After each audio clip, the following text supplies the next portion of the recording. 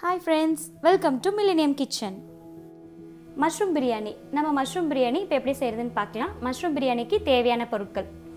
ஐநூறு கிராம் அரிசி ஐநூறு கிராம் மஷ்ரூம் ரெண்டு டேபிள் ஸ்பூன் ஆயில் ரெண்டு டேபிள் ஸ்பூன் நெய் அஞ்சு பெரிய வெங்காயம் ரெண்டு கட்டி பூண்டு ரெண்டு துண்டு இஞ்சி நாலு பச்சை மிளகா ரெண்டு தக்காளி முக்கால் கப் தயிர் அரை அரை அரை ஸ்பூன் மஞ்சத்தூள் ஒன்றரை டீஸ்பூன் மிளகாத்தூள் இது வந்து பிரியாணி மசாலா. நம்ம பிரியாணி மசாலா வீட்டிலேயே ஃப்ரெஷ்ஷாக ப்ரிப்பேர் பண்ண போகிறோம் அதுக்கு தேவையான பொருட்கள் ஒரு ஸ்டார் முக் அரை இன்ச் பட்டை நாலு கிராம்பு மூணு ஏலக்காய் ஒரு ஸ்பூன் ஜீரகம் அரை டீஸ்பூன் சோம்பு அரை டீஸ்பூன் மிளகு ரெண்டு டீஸ்பூன் வரக்கொத்தமல்லி ஒரு பிரியாணி இலை. உப்பு தேவைக்கேற்ப. காளான் இப்படி நம்ம கடையில் வாங்கும்போது இப்படி தான் இருக்கும். காளானை நம்ம இப்படி தோலை சீவி க்ளீன் பண்ணி இப்படி வச்சுக்கோங்க. நான் ஆல்ரெடி இப்படி தோல் சீவி இப்படி வச்சுருக்கேன். நீங்கள் இந்த மாதிரி நாலா ஒரு காலனை வந்து டூ பீசஸாக கட் பண்ணி இப்படி வச்சுக்கலாம். பிரியாணி மசாலா எப்படி செய்கிறதுன்னு பார்க்கலாம். அதுக்கு ஒரு ஸ்டார் முக்கு அரேஞ்ச் பட்டை நாலு கிராம்பு மூணு ஏலக்காய் ஒரு டீஸ்பூன் ஜீரகம் அரை டீஸ்பூன் சோம்பு அரை டீஸ்பூன் மிளகு ரெண்டு டீஸ்பூன் மல்லி ஒரு பிரியாணி இலை. மீடியம் ஃப்ளேயில் வச்சு நல்லா வறுத்துக்கோங்க.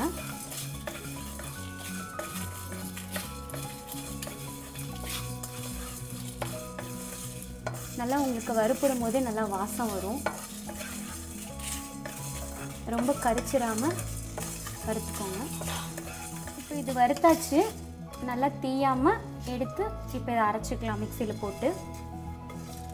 பழம் பிரியாணி செய்ய ஸ்டார்ட் பண்ணலாம். ரெண்டு டேபிள் ஸ்பூன் நெய் ஊற்றிக்கலாம் ரெண்டு டேபிள் ஸ்பூன் ஆயில்.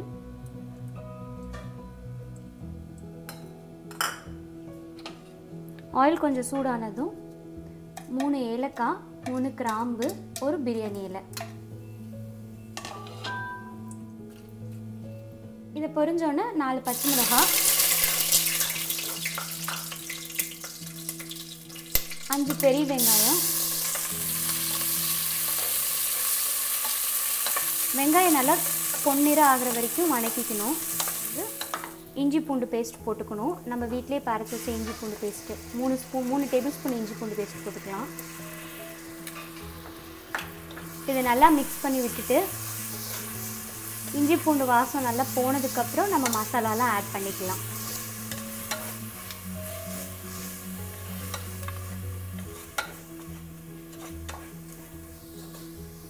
அரை டேபிள் ஸ்பூன் மஞ்சள்தூள் ஒன்றரை டேபிள் ஸ்பூன் மிளகாத்தூள். காரத்துக்கு ஏற்ப உங்களுக்கு காரம் அதிகமாக வேணும்னா நீங்கள் மிளகாத்தூள் நிறைய போட்டுக்கலாம். லாஸ்ட்டாக நம்ம வீட்லேயே ஃப்ரெஷ்ஷாக ப்ரிப்பேர் பண்ண பிரியாணி மசாலா. இப்படி நம்ம வீட்லேயே ஃப்ரெஷ்ஷாக ப்ரிப்பேர் பண்ணிட்டிங்கன்னா நம்ம பிரியாணி நல்லா இன்னும் மனமாக இருக்கும். நறுக்கி வச்ச ரெண்டு தக்காளி. நல்லா போட்டு மிக்ஸ் பண்ணிக்கோங்க. தக்காளி நல்லா பேஸ்ட் மாதிரி ஆகணும். நல்லா நம்ம பேஸ்ட் மாதிரி ஆனால் தான் பிரியாணி நல்லாயிருக்கும்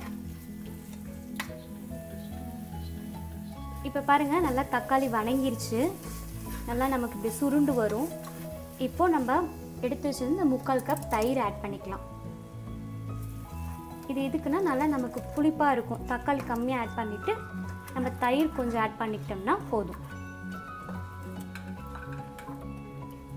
எல்லாம் வணங்கினோன்னு இப்போ நம்ம காளானை சேர்த்துக்கலாம். இப்போ நல்லா காளான் மிக்ஸ் ஆகுற மாதிரி நம்ம வந்து கிளறி விட்டுக்கணும். அப்போ தான் நமக்கு காளானில் மசாலா இறங்கும்.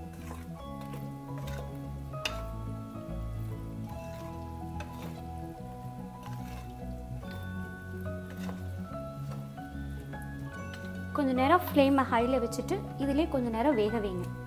ஜஸ்ட் ஒரு டூ மினிட்ஸ் இருந்தால் போதும். கொஞ்சம் வணங்கினோன்னா இப்போ நம்ம கல்லுப்பு கொஞ்சம் சேர்த்துக்கலாம்.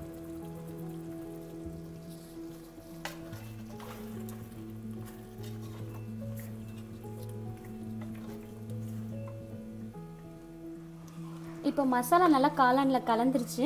இப்போ நம்ம வந்து அரிசி எடுத்து போட்டுக்கலாம். இது வந்து ஐநூறு கிராம் அரிசி நான் இன்றைக்கி எடுத்திருக்கேன். ஐநூறு கிராம் அரிசி வந்து அஞ்சு பேர் சாப்பிட்லாம்.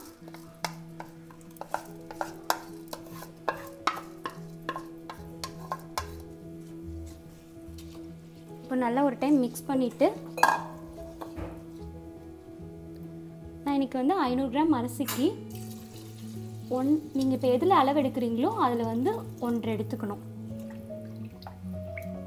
ஐநூறு கிராம் அரிசிக்கு நான் வந்து எழுநூற்றம்பது எம்எல் தண்ணி ஊற்றிருக்கேன் இப்போ ஆல்ரெடி நம்ம வந்து காளான் வேகும் போதே கொஞ்சம் உப்பு போட்டோம்.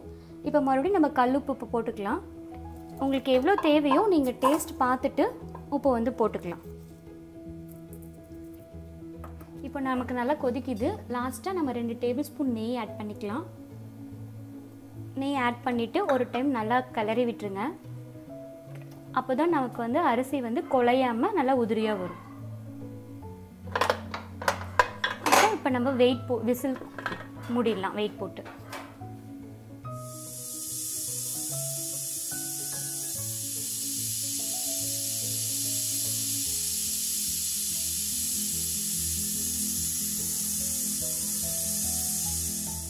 இப்போ மூணு விசில் வந்துருச்சு. மூணு விசில் வந்தோடனே நான் அடுப்பை ஆஃப் பண்ணிட்டேன். ப்ரெஷர் ரிலீஸ் ஆகிடுச்சு நம்ம இப்போ குக்கர் ஓப்பன் பண்ணி எப்படி இருக்குன்னு பார்க்கலாம்.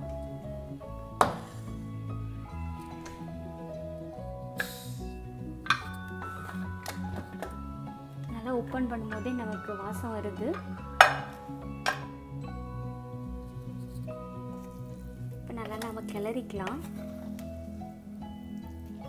நல்லா நம்ம நெய் ஊற்றிருக்கனால நல்லா அரிசி பாருங்கள் ஒட்டாமல் வந்திருக்கு. நமக்கு கொஞ்சம் கூட குலையவே இல்லை. வாசம் சூப்பராக இருக்குது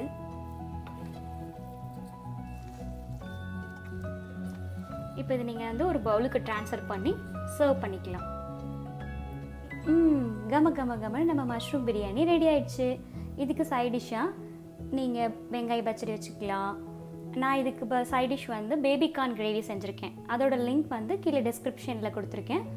நீங்கள் ஓப்பன் பண்ணி பார்த்துக்கலாம் இந்த ரெசிபி உங்களுக்கு ரொம்ப பிடிச்சதுன்னா நீங்களும் வீட்டில் ட்ரை பண்ணி பாருங்கள் உங்களோட கமெண்ட்ஸை போஸ்ட் பண்ணுங்கள் என்னோடய சேனலை லைக் பண்ணுங்கள் ஷேர் பண்ணுங்கள் சப்ஸ்கிரைப் பண்ணுங்கள் பாய்